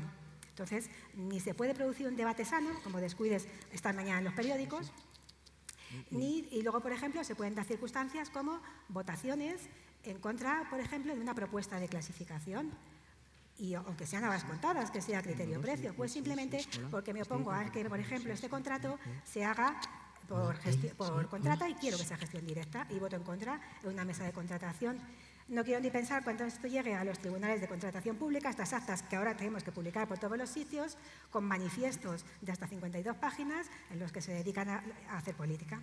Bueno. Eh, otra de las novedades de las mesas, esto ya sí para todos, es que se elimina el personal eventual de la composición de las mesas de contratación y tampoco pueden realizar informes de valoración. También se limita a los interinos. Solo pueden participar interinos en las mesas de contratación cuando no existan funcionarios cualificados y siempre y cuando esto se acredite en el expediente. En el comité de expertos, para cuando hay más del 50% de criterios de juicio de valor, en el comité de expertos tiene que haber un técnico jurídico especialista en contratación. Esto, evidentemente, en la mayor parte de los municipios también vamos a necesitar de las diputaciones provinciales. Eh, las actas hay que publicarlas, los de las mesas de contratación, ahora lo, como decían en, una de las jornadas que estuve, somos como el OLA, lo, transparencia, lo publicamos todo, lo decimos todo. Tenemos que publicar las actas, tenemos que publicar en el perfil la composición de la mesa de contratación. Otros cambios que se han producido y que tienen que ver con las mesas de contratación es, por ejemplo, en el artículo 150 se ha corregido la disfunción de que fuera el órgano de contratación el que tuviera la competencia para requerir la documentación al primer clasificado, ahora ya se deja claro que se puede hacer desde el propio servicio, esto da una función, imagínense las veces que acudimos a, cuando son de su competencia a órganos colegiados, al Pleno y a la Junta de Gobierno, y lo que esto conlleva. Sin embargo, la competencia de clasificación permanece en el órgano de contratación. Ahora lo cuento junto con las ofertas. Eh, otro cambio, otros cambios también están en las ofertas anormalmente bajas ha cambiado la denominación, ahora se llaman anormalmente bajas, hemos pasado de temerarias desproporcionadas ahora anormalmente bajas. Se mantiene la competencia en la mesa de contratación para realizar todo el procedimiento de audiencia al, licitador cuando identificamos una, baja, una oferta como anormalmente baja. En mi opinión, eh, y luego, sin embargo, la competencia para aceptar o rechazar sigue manteniéndose en el órgano de contratación. En mi opinión práctica hubiera resultado muchísimo mejor, en mi opinión, haber eh, trasladado esta competencia a la mesa de contratación, porque resulta mucho más operativo que sea la mesa de contratación la que haga el procedimiento de audiencia, acepte, rechace, eh, clasifique, requiere la documentación y posteriormente con todo esto ya convocamos al órgano de contratación y para que, con la propuesta de adjudicación. Pero no ha sido así, continúa como antes. Esto desde el punto de vista práctico les puedo asegurar que nos puede llevar como un mes o mes y medio todos estos trámites. Eh, se da la posibilidad, eso sí, en la ley, en el artículo 146 también, que las leyes de las comunidades autónomas o el desarrollo reglamentario, que por lo visto ya, ya debería frustrar este tema, que me parece que no, pues que las leyes de las comunidades autónomas o el desarrollo reglamentario puedan atribuir competencias de adjudicación a las mesas de contratación.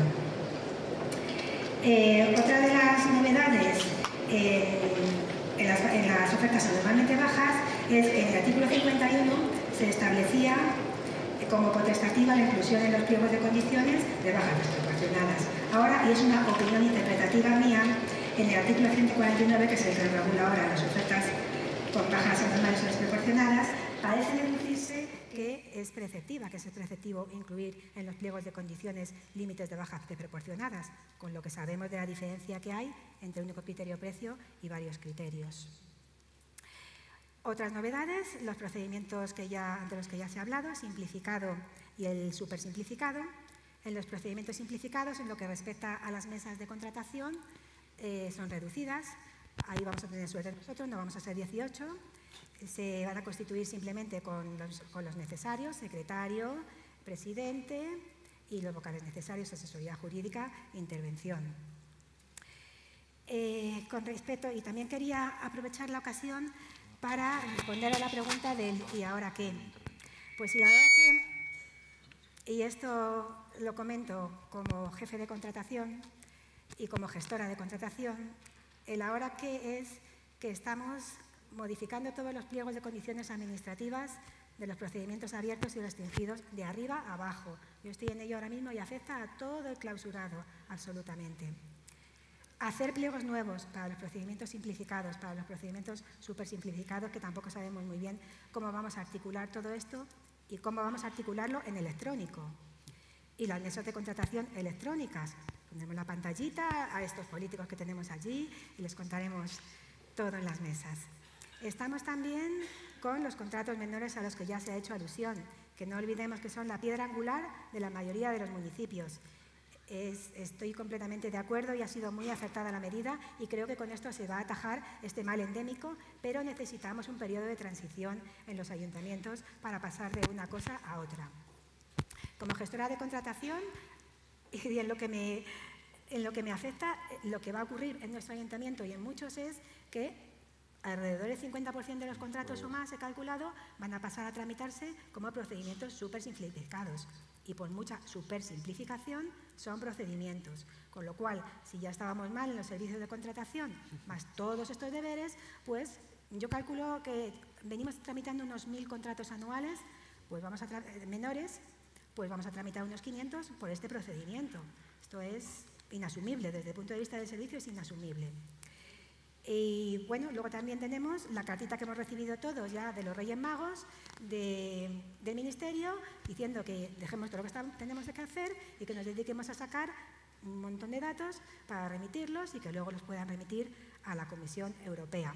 Y entre tanto, pues todos los contratos que estamos tramitando, que en nuestro caso a lo mejor serán 150, bueno, 150 no he pasado, varios, pues ahí se quedan.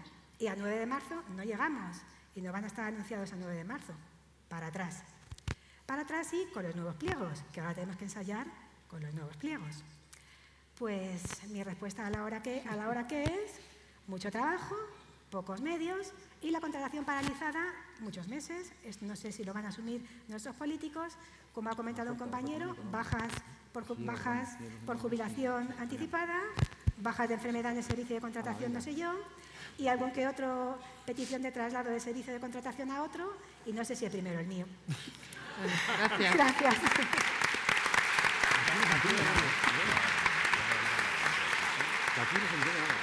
Vale, muchas gracias.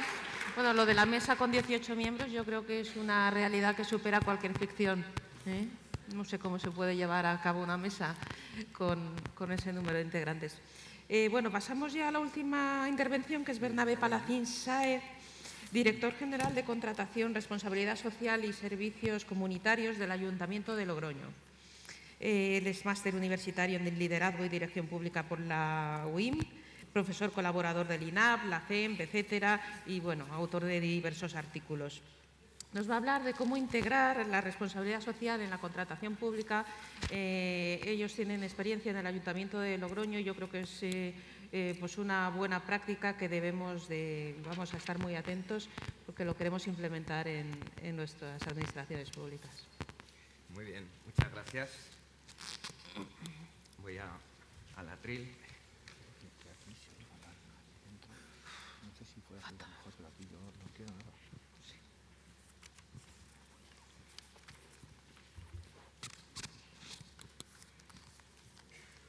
Bueno, esto cuenta es un relato que cuenta la historia de un acercamiento del Ayuntamiento de Logroño a la responsabilidad social municipal a través de, una herramienta eh, como es la contratación pública que hoy nos reúne, aquí.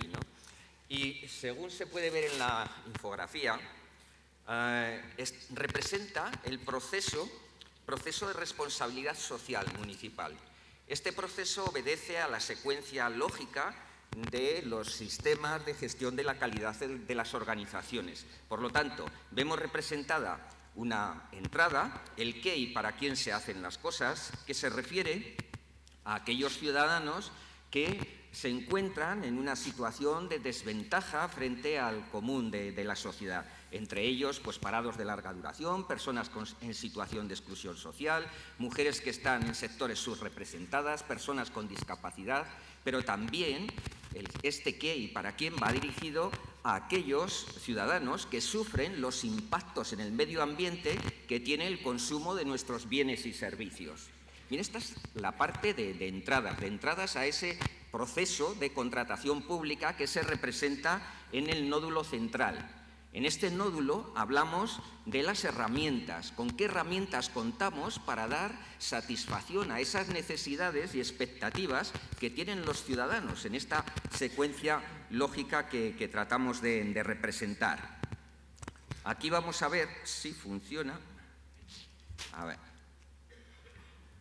Sí, Vamos directamente a las herramientas y dentro de las herramientas nos encontramos con un departamento de contratación que tiene una misión tradicional, la provisión de bienes y servicios. Esto es lo más, lo más habitual, lo, lo que todos conocemos, pero tiene una visión particular que es ser conocido este departamento por fomentar un empleo de calidad y un cuidado del medio ambiente. ¿Con qué objetivos? Pues con el objetivo de conseguir la mejor calidad de nuestros servicios para, con eso, también mejorar la calidad de vida de las personas que intervienen en el mismo. Estas son nuestras herramientas. Está representado, es una llave cualquier llave de un mecánico, pero esta es especial, es la contratación pública y nos sirve de instrumento pues, para conseguir ventajas de tipo social, ventajas de tipo ambiental o también de innovación. Pero el kit de la cuestión es el cómo. ¿Cómo vamos a conseguir esto? Es bastante complejo, nos llevaría a hablar de las distintas fases del procedimiento de contratación, que si la preparación del contrato, que si la selección y adjudicación, que si la fase de ejecución. En estos momentos, y dado el formato reducido que tiene la presentación, yo me voy a fijar en el antes y el después. El antes constituido por la norma todavía vigente, texto refundido de 2011, y el después por la nueva ley de contratos 2017 y en determinados hitos. Hablamos de estas herramientas de tipo social y ambiental que fundamentalmente las encontramos localizadas en el artículo 1, en el artículo 145 cuando nos habla de criterios de adjudicación y en el artículo 202 cuando nos habla de las condiciones especiales de ejecución, amén de otras eh, facetas como la responsabilidad de control y supervisión de los diferentes contratos. Si hablamos de prohibiciones para contratar, en el texto refundido de 2011 no se contempla el incumplimiento de la ley de igualdad en aquellas empresas que tienen más de 250 trabajadores. Esto se resuelve en el texto de 2017 exigiendo un plan de igualdad. Si hablamos de etiquetas, el texto refundido vigente es bastante parco. Solamente se refiere a las etiquetas medioambientales y apenas contiene una regulación, simplemente para saber que se trata de una acreditación y que no es un supuesto de valoración en puntos para seleccionar la mejor oferta. Sin embargo, en, la ley de 2017 ya se habla de una manera más extensa, no de esta faceta de la acreditación de la etiqueta, sino además de qué tipo de etiquetas se pueden incorporar, sociales, medioambientales, relacionadas con la agricultura y ganadería ecológicas, comercio justo, igualdad de género o convenciones de la Organización Internacional del Trabajo. Vamos con algunas novedades más. En cuanto a los criterios de adjudicación, pasamos de un criterio, de los criterios de adjudicación tanto medioambientales como sociales que contiene el actual artículo 150 y que ha dado lugar a tanta polémica por la escasa vinculación al objeto del contrato que tenían nuestras cláusulas sociales, y ahí lo dejo, eh, la eh, polarización de la doctrina, y tenemos aquí a los representantes de los tribunales de recursos contractuales de Madrid y de Andalucía, fundamentalmente, ¿no? Bueno, esto viene a resolverse ahora de una forma bastante más clara. Se habla en el apartado 6 del 145 del 145 de lo que significa la vinculación al objeto del contrato, aunque sigue siendo una redacción bastante rebuscada. Nos sirve para saber que en estos momentos, pues no solamente el criterio ha de referirse a, las prestaciones concretas del contrato, no a lo que es la empresa, pero además nos habla de los factores que intervienen en la producción, comercialización o prestación del contrato. Entre esos factores, inequívocamente, está el trabajo de las personas, de esos grupos con los que nosotros queremos trabajar para contribuir a su mejor calidad de vida. Seguimos, condiciones especiales de ejecución. El 118 en el texto actual prácticamente no nos dice nada, sociales, medioambientales. Sin embargo, el 202 ya amplía esa visión. No solamente separa en condiciones de tipo social, condiciones de tipo ambiental, sino que además la ejemplifica con unas listas que ya se ha dicho esta mañana aquí, no son exhaustivas y que por lo tanto en esa misma línea ejemplificativa podremos innovar, pero contenemos además condiciones especiales de ejecución que nos hablan de la innovación, que nos hablan de la economía, además de lo social y de lo ambiental. Y por último, bueno, la vinculación al objeto del contrato, a la que ya me he referido, los contratos reservados en los que en el texto actual se habla de centros especiales de empleo y no fija ningún porcentaje de reserva, frente a la disposición adicional cuarta del nuevo texto en el que se nos habla de centros especiales de empleo y se le adjetiva de iniciativa social. Porcentaje de reserva que establece con carácter subsidiario para la Administración General del Estado, pero que puede ser, servir de ejemplo para el resto de las administraciones en un 7%, que podrá ir completándose en un espacio de cuatro años hasta llegar al 10%. Contratos de servicios a las personas reservados, que son los que se contemplan como servicios sociales, culturales y de salud en el anexo 4, y mm, que, de los cuales se ocupa la condición cuadragésimo octava. Y finalmente, la prestación de los servicios sociales por debajo de un umbral de 750.000 euros, que como se ha dicho esta mañana, eh, pueden llevarse a cabo mediante, siempre que se refieran a estos servicios de, de, atención a las personas, mediante instrumentos no contractuales, según nos dice la disposición adicional cuadragésimo novena y a la que habrá que estar en función de los desarrollos autonómicos. Bien, pero esto que nos ha hablado del cómo, de cómo es el, nuevo ámbito eh, de producción del proceso de contratación pública en esta, en esta iniciativa de carácter social, eh, se puede quedar en un simple folleto informativo si realmente no tenemos instrumentos para la ejecución de ese contrato. Esto es lo que nosotros Ah, tratamos de, mm, poner ahora mismo en, valor. ¿no? ¿De qué nos sirve tanta potencia, eh, tanta cláusula social, eh, tanta condición especial de ejecución medioambiental si no somos capaces después de controlar? No sirve de nada, sirve, sí, de un folleto informativo que va a servir para la presentación en rueda de prensa del grupo político de turno y ahí se va a quedar No basta con la inclusión de cláusulas sociales y ambientales en los pliegos de condiciones. Es necesario su control. ¿Qué iniciativas ha tomado el Ayuntamiento de Logroño respecto al control? Al control, hemos creado la sección de supervisión y control de contratos, sobre la base de una moción plenaria de 2016 y se ha creado una pequeña estructura administrativa al frente de la cual hemos situado un jefe de sección y un administrativo. No tiene más. ¿Cuáles son las funciones de todo este relato de funciones que tenemos aquí?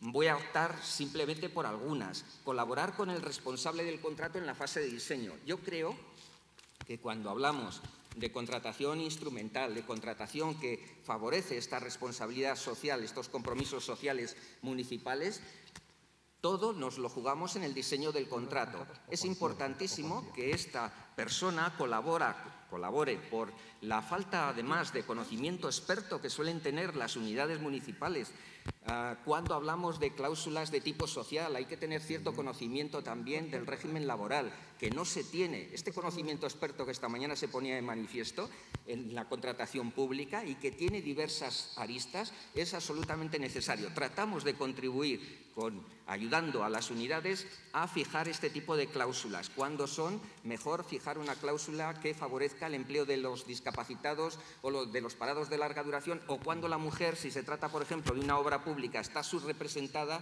y debemos hacer un esfuerzo importante en esto. Por lo tanto, colaborar en esta fase de diseño nosotros creemos que es muy relevante.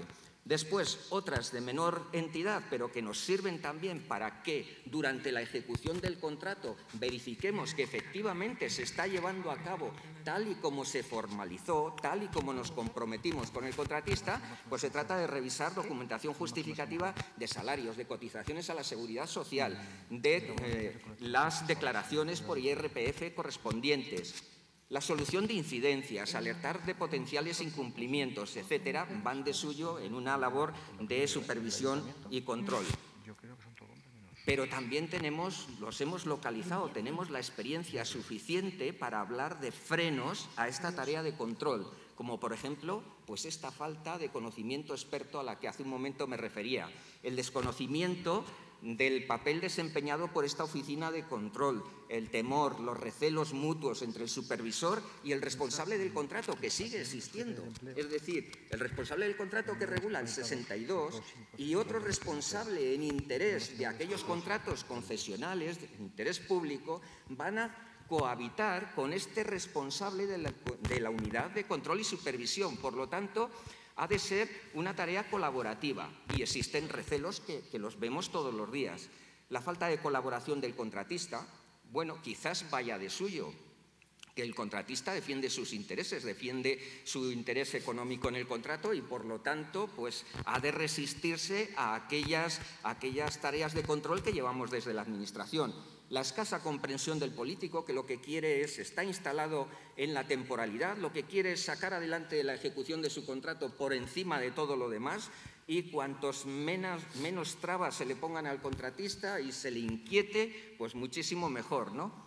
Escasa eficiencia de las medidas penales, de las penalidades que se establecen en los contratos, esto es, es tradicional en la contratación pública, y, por tanto, por todo ello, una frustración importante del supervisor por falta de, apoyos. Esta es una realidad.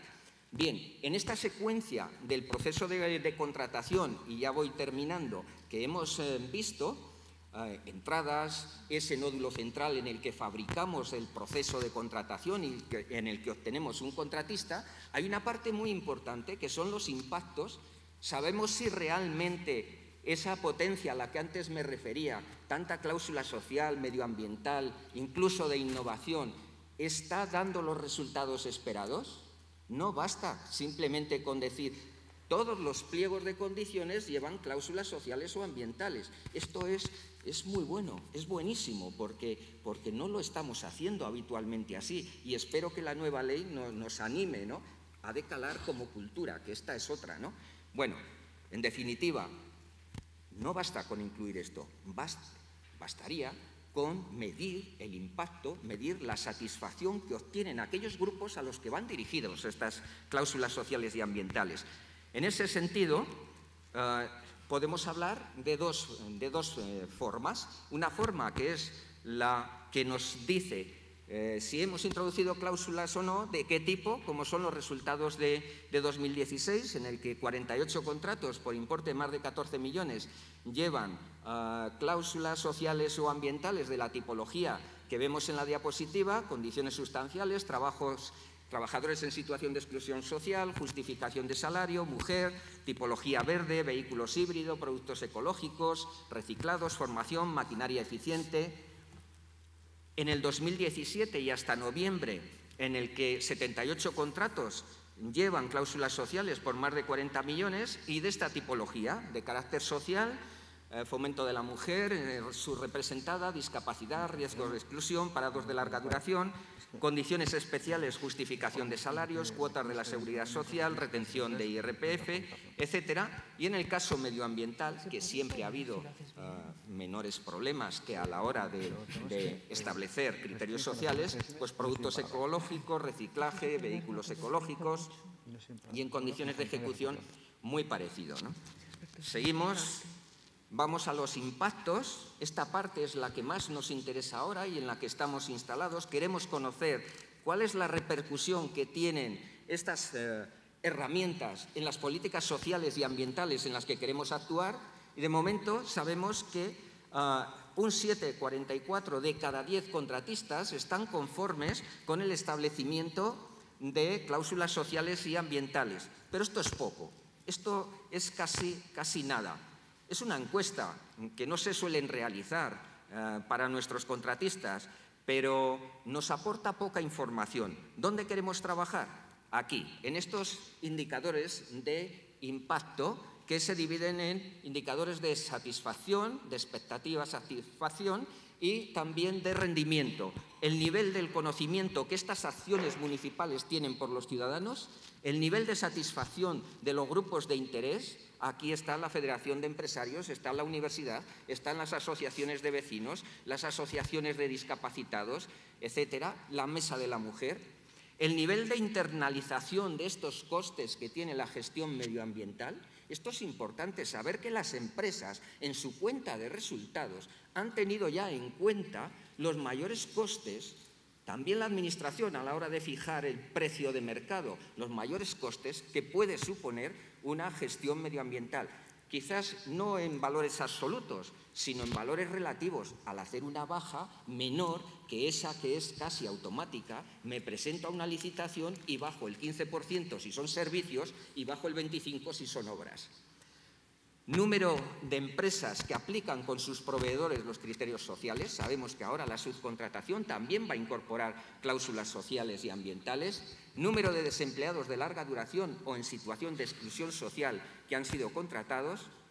Lo mismo para mujeres en labores operativas y no técnicas. En las labores técnicas habitualmente están representadas. El ahorro en toneladas métricas CO2. Existen calculadoras y es muy fácil calcular esto y los contratos con un único criterio de adjudicación basados en el coste de ciclo de la vida. Esto no es habitual. Generalmente, cuando hablamos de un único criterio de adjudicación, vamos a precio. No queremos saber cuántos de nuestros contratos con un único criterio de adjudicación, además, van, estudian la rentabilidad, que no solamente el precio, sino el coste del ciclo de la vida de ese producto. ¿no?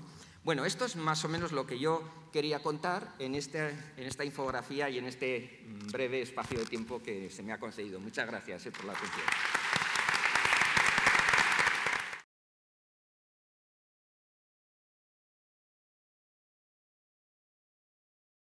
Voltes Kluber, tu mejor socio.